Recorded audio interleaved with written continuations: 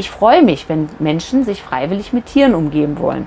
Aber ich muss natürlich schon darauf achten, dass es nicht nur zulasten des Tieres geht. Damit das nicht passiert, leitet Janet Klemm das Projekt Hundedog. An vier Tagen in der Woche fährt die Tierärztin mit ihrer mobilen Praxis durch Berlin und kümmert sich um die Tiere mittelloser junger Menschen.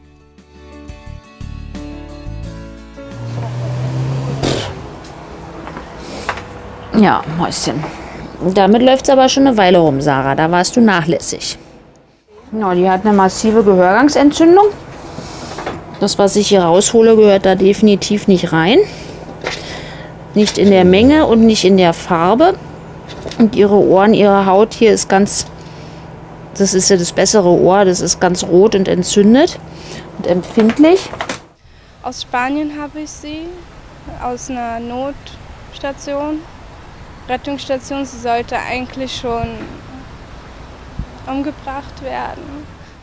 Die schlimme Vergangenheit sieht man der Hündin nicht mehr an. Amy musste aber schon auf der Straße betteln, um Nomi und sich etwas zu essen kaufen zu können. Den Klienten von Janette fehlt es jedoch nicht nur an finanziellen Mitteln, sondern oftmals auch an einem stabilen sozialen Umfeld, um ihre Tiere ausreichend zu versorgen. In der Regel werden sie von Sozialarbeitern an die mobile Praxis vermittelt. Also neben meiner äh, fachlichen Kompetenz als, als Tierärztin spielt hier natürlich die seelsorgerische Funktion eine ganz große Rolle. Die Seelsorge kriegen Sie eigentlich auch beim Sozialarbeiter, ähm, aber bei mir ist es ja so, dass wir uns auf dem gemeinsamen Nenner die Liebe zum Tier treffen. Und da habe ich einfach nochmal, ähm, nicht immer, darf mich da also auch keine Illusion hingeben, aber häufig doch äh, nochmal einen gewissen Vorteil. Der Kater von Nick wurde aus seiner betreuten Wohngemeinschaft gestohlen. Die Polizei weigert sich jedoch, gegen den Täter zu ermitteln.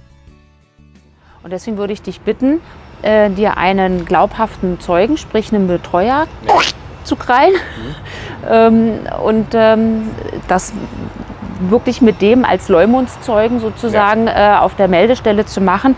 Nicht, dass der Polizist dich sieht und für äh, unglaubwürdig einstuft, mhm. weißt du, und dich dann wieder ähm, äh, äh, wegschickt. Ja?